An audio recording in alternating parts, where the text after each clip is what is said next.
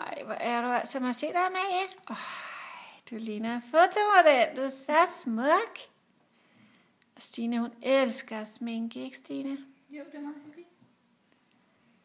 Hvordan går det ellers med din sangkarriere, Stine?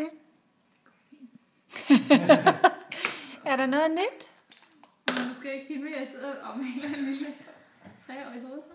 Nej, der er ikke nyt. Det er jo bare for sjovt, du giver Amalie make op på, ikke?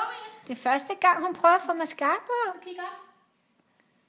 Åh, oh, hvordan vil du gøre det? Og stille og roligt med øjenvipperne? Er det, er det dumt, Amalie? Stine putter bare lidt på din øjenvipper.